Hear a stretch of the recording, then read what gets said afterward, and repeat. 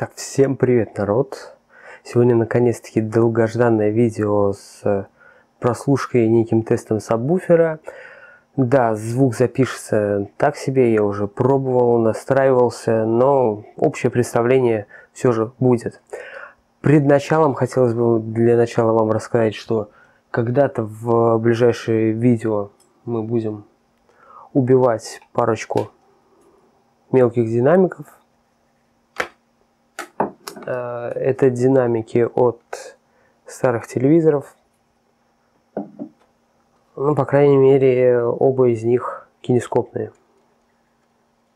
Постоянно все забываю про фокус, но надеюсь, все нормально.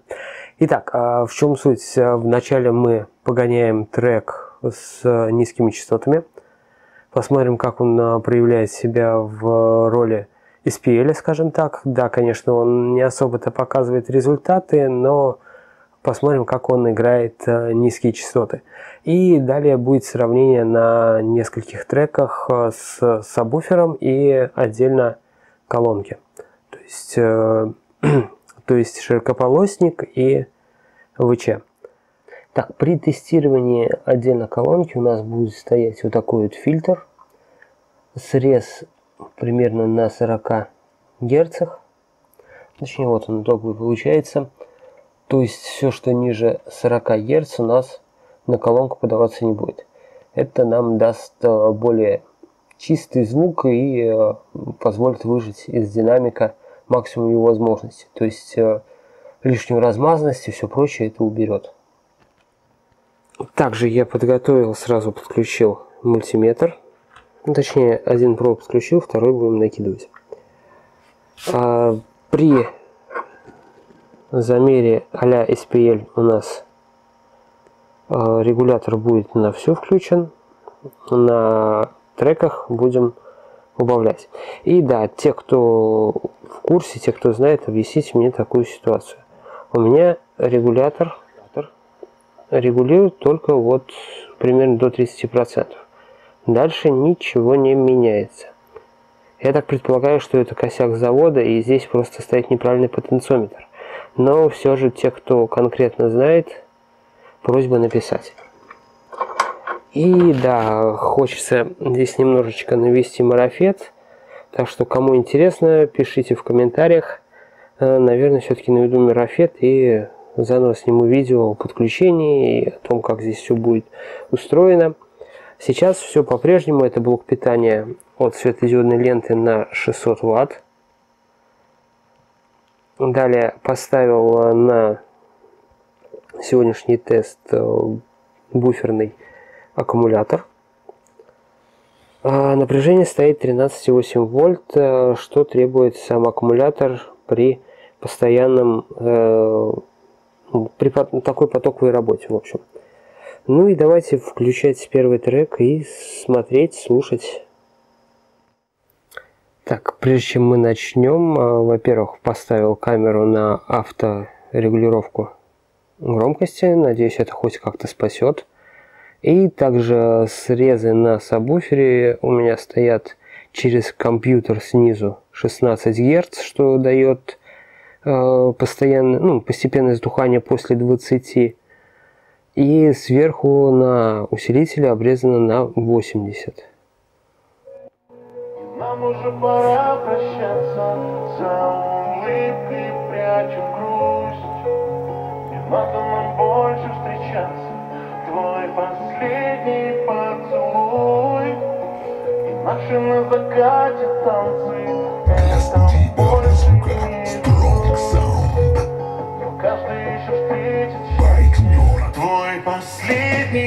поцелуй Нам уже пора прощаться?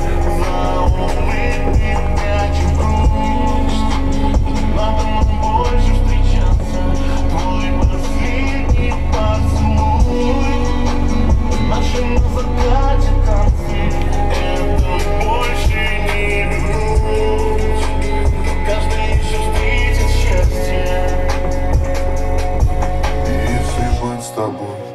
Ты только что чувак, тебе расскажу про любви, только на слово ты ему, а ты ему опять поверишь. Ну почему же тебе грустно так? Твой последний... Итак, что мы по итогу имеем? Это 15,4 вольта сигнала, то есть это где-то, если честными, где-то, наверное, 40-50 ватт. При этом, как бы вы видели, ветер есть, э, давление, ну, в комнате вряд ли я создам себе такое давление, но в машине должно быть весело. Вот. Ну и суть как бы в том, что он играет, он играет э, полноценно на этой частоте. Кстати, да, трек был 23, 25, 26, по-моему, написано. Вот. А, и далее мы переходим к прослушке, сравнению с сабвуфером и отдельно просто колонки. И у нас, как будет происходить замер, примерно на расстоянии 45-50 сантиметров повешу микрофон. Ну и, соответственно, поочередно будем слушать э, запись с чисто динамиков и с динамиков и сабвуфера. Что ж, поехали.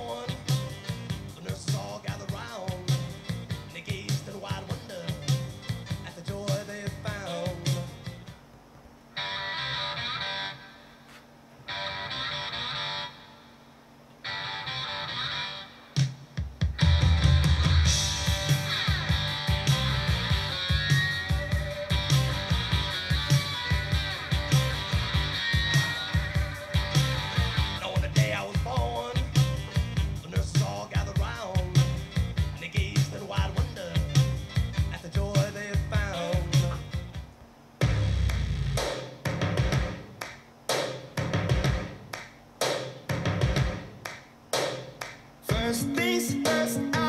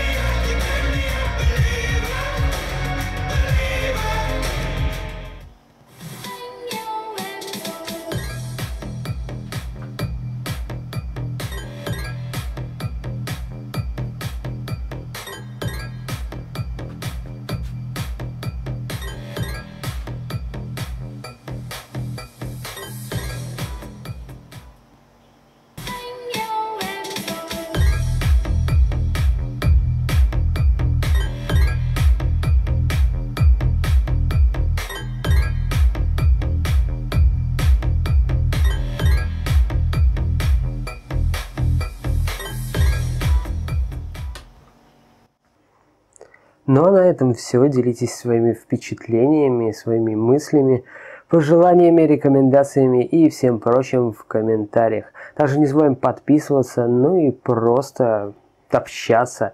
Я, собственно, для этого на ютубе и сижу, чтобы общаться с вами, делиться своими замечаниями, мыслями и своей радостью, и своими впечатлениями и всем прочим.